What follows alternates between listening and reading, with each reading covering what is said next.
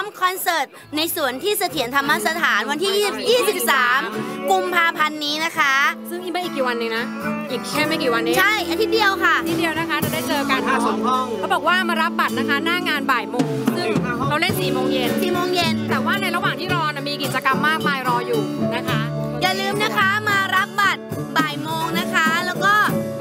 งานเริ่ม4โมงเย็นนะคะ มาก่อนเวลา ได้ค่ะเกิดถ้าเกิดกลัวรถติดก็มาก่อน แล้วก็มีกิจกรรมเยอะแยะมากมายเลย มาอบอุ่นด้วยกันนะคะ 23กุมภาค่ะเสถียรธรรมสถานค่ะ เพลงนี้พี่ปานร้องค่ะ พี่เจี๊ยบวัฒนาด้วยพี่เจี๊ยบวัฒนาไม่เก็บลิขสิทธิ์สักบาทหนึ่งเลยค่ะน่ารักที่สุดธรรมะไหมมีเพลงธรรมะไหมไม่ เราไม่ธรรมะเราจะเป็นดนตรีไม่ในธรรมดาชะเออไม่ใช่อะเราก็เป็นดนตรีทั่วไปไปในสวน เดี๋ยวจะชวนทุกคนเต้นโยกย้ายสายสะโพกนะคะ มีคำถามว่าในส วนทำอย่างนี้เต้นได้เหรอคะ